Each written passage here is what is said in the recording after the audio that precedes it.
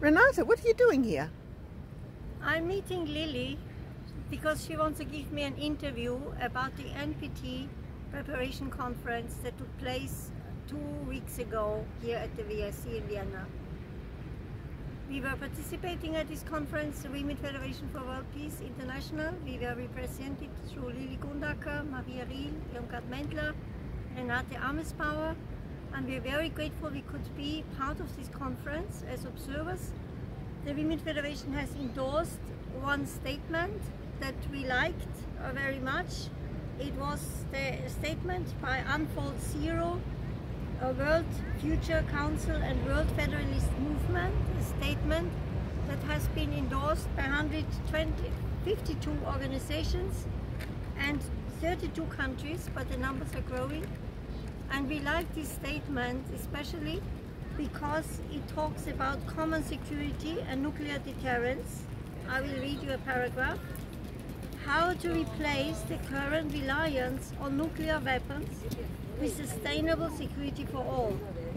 The paragraph about other methods to ensure common security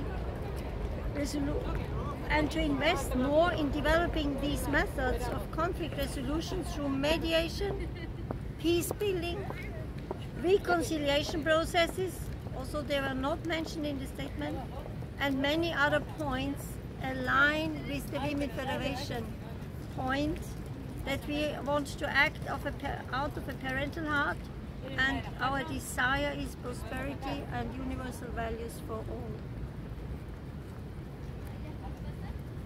Wow! So we want to support these organizations and this network of organizations also in the future. And I want to give some more explanation about common security because I like it because this is um, put in words in the official documents. So this is something we can connect to as Women Federation. It sounds very complicated, please listen some explanation about common security, aggression and nuclear deterrence. The common security approaches and mechanisms outlined in the UN Charter, in the Helsinki Final Act and in the Lisbon Declaration can be used to resolve international conflicts before they escalate to the level of armed conflict.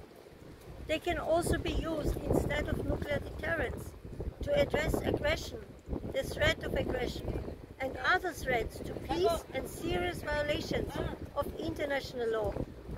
Better utilization of common security approaches could therefore assist the transition from nuclear deterrence to non-nuclear security. If you think of a family, then this would be the things that you would implement first to solve the conflict, sit down, talk to each other, reconcile. So it's really high time that we are using these methods in the international or international relationships of people and ethnic groups, religious groups, etc. Another point of the Commission was that we have been made aware at several occasions, made aware at several occasions about the devastating effects of nuclear war using the example of Hiroshima and Nagasaki, even the warfare has developed and the nuclear weapons used today cause a much more disastrous effect as it has been in Nagasaki and Hiroshima. And it, if you start with a nuclear war, then it affects everyone. The one who is the aggressor and the, as, as much as the one that is attacked and in the end it affects the whole world. So it's really a point, even from this point of view, something to really think about deeply.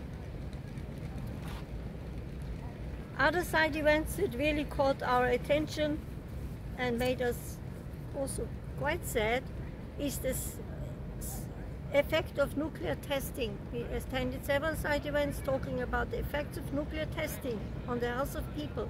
Even nuclear tests have been forbidden several decades ago, the heightened risk of cancer, that babies are born with disabilities, deficiencies, the destruction of the nature, the place where people are living, and which is their source of income, their place to live,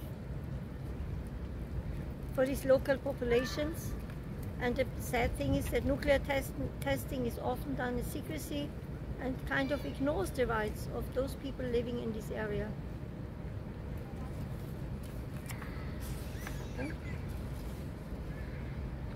But we also had very inspiring experiences at this commission, which was to learn about the peaceful use of nuclear technology under the motto building a more sustainable future for all through the EI, IAEA, International Atomic Energy Agency. They had really very well organized an extensive exhibition on, the, on various side events where they talked about the peaceful use of nuclear technology and they even ex, uh, organized excursions to the laboratories. We could visit the laboratories in Seibersdorf and in the WRC basement. So we got a lot of information, multifaceted information about this use of the technology. Some of them, just to mention some of them, is dosimetry and radiology, groundwater research, biological pest control, water irrigation systems, and soil analysis, not to mention the whole uh, plant mutation, uh, which can increase the crops, the number of crops, the quality of crops, and also the, the kind of livestock that people can uh, keep. They can keep more healthy and more productive livestock using this, some of this technology. Please look at IAEA's homepage. So, noch irgendetwas, wenn du möchtest, kann man noch ein